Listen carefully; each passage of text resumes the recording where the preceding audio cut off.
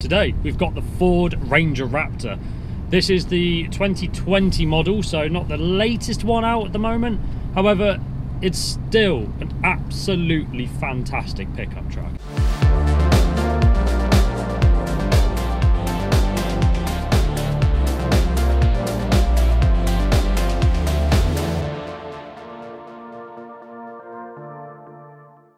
So there's a lot of misconception, I would say, about the Ford Ranger Raptor. Um, people tend to use them, well, they would like to use a more like an agricultural style of truck. Or, you know, a lot of different models, it's like, say, for example, the Ford Ranger, the standard Wildtrak, or anything like that. This, from the ground up, is just something completely different. Okay, it might share a few elements from the same chassis, but it per, the purpose of it is completely different. So what is it for? Well, it's for those people who want a performance off-road vehicle and it's got a lot of heritage from the Baja style. So if you don't know what Baja is, it's a race which happens over in America, I believe all around the world to be fair, but it's an off-roading race. It's quite a grueling race.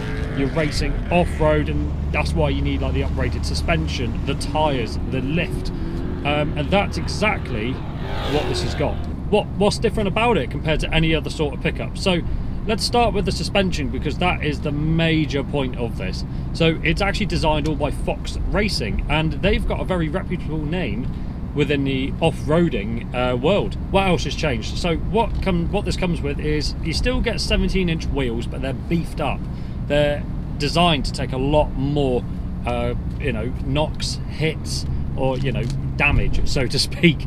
Um, and then they're complemented with um, big knobbly off-roading tyres as well. And that's standard for the Raptor. That that's what they come with. So with that obviously you're going to need quite a bit of power to go with this suspension and tyre setter so you've got an inline four um, obviously diesel uh, two litre. However um, turbocharged I should say as well on top of that.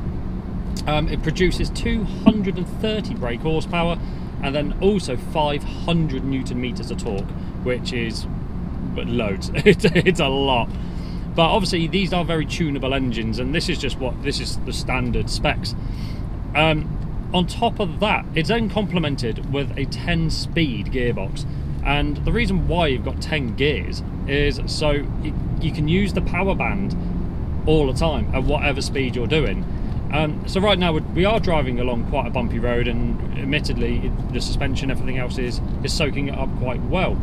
Um, the camera rattling around might give a different example right now which I can see.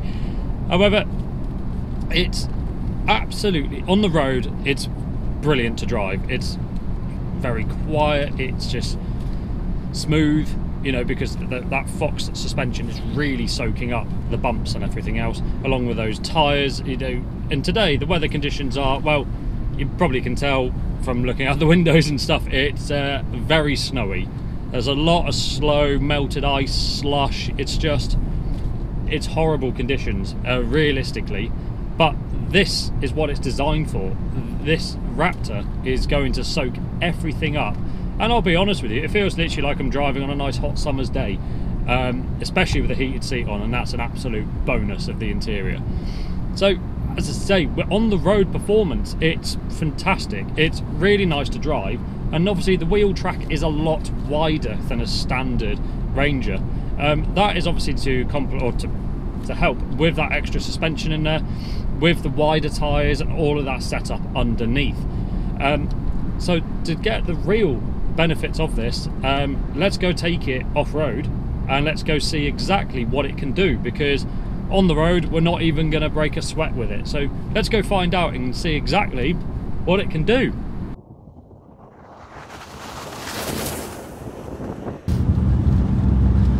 Okay, so driving this through the heavy snow, it's all like icy snow to be fair.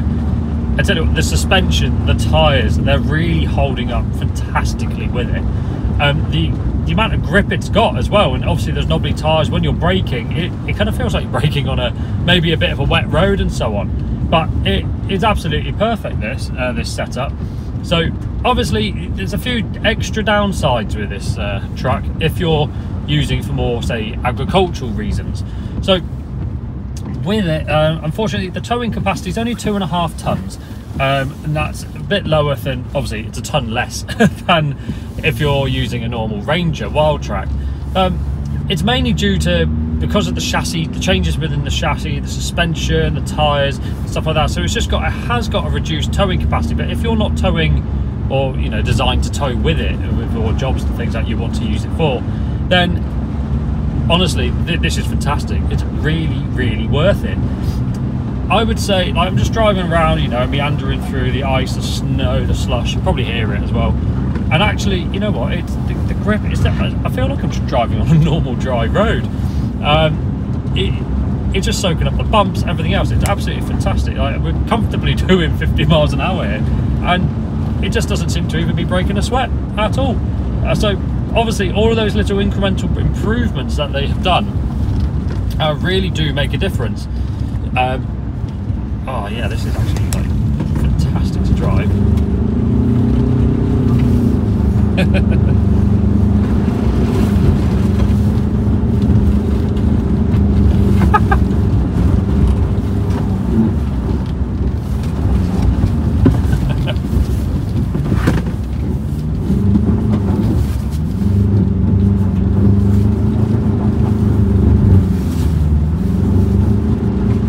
yeah, this is definitely designed for this purpose.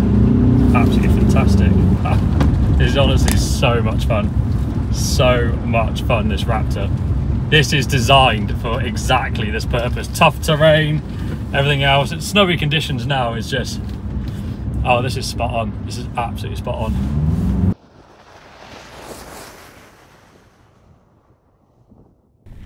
Okay, so the Ford Ranger Raptor, how do we summarize it? Well, out the box, it is the perfect package if you're going on those large excursions, if you're going on the big adventures and everything else. Obviously, we've mentioned earlier, it's got that Fox Racing suspension, which is one of the biggest highlights of this vehicle. But again, you couple that with the BF Goodrich all-terrain tyres, again, really complements this high-performance setup off-road. Out the obviously from the engine, you've got 500 newton meters of torque, which is brilliant. And you couple that with the 10-speed gearbox, you can stay in the power band on any sort of terrain. Obviously, there's loads of other features on the vehicle, you know, chassis improvements and so on which really, you know, tie it all in together. And driving around off-road, especially in these icy conditions, you can really see the benefit of the vehicle. I will be honest, the biggest downside is probably the towing capacity, which is only two and a half tons. Obviously there are other brands out there and everything else. Even the Ford Wildtrak is a three and a half ton towing capacity. However, the reason for that is due to the suspension setup. This isn't designed for towing. Yes, obviously you can tow with it, but it's designed for those big adventures, taking it off road and just doing what it was built to do. It's got that Baja heritage in it, and as when you're driving it, you can really feel it through the steering wheel and your pedals when you're driving. So overall, if you're going on a big adventure, I would recommend one of these. This out the box as a piece of kit is ready for it, and it will tackle anything you throw at it as well. So anyways, if you guys do like this review, um, please follow the channel for more videos coming soon. And then all of the details of this vehicle are in the description down below, along as all of the other vehicles that we do have on our website as well.